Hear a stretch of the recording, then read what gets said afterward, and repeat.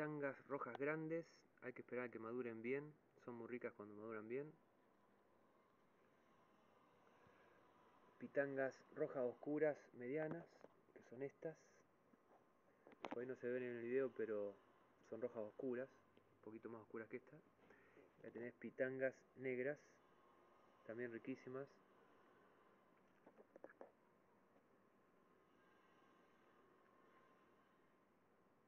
Acá hay uva high.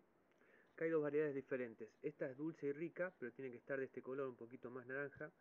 Y esta que es anaranjada y chica es demasiado ácida, pero por ahí sirve para helados y jugos. Esta es bastante buena. Y acá tenemos un uva high grande que da un montón de frutos siempre.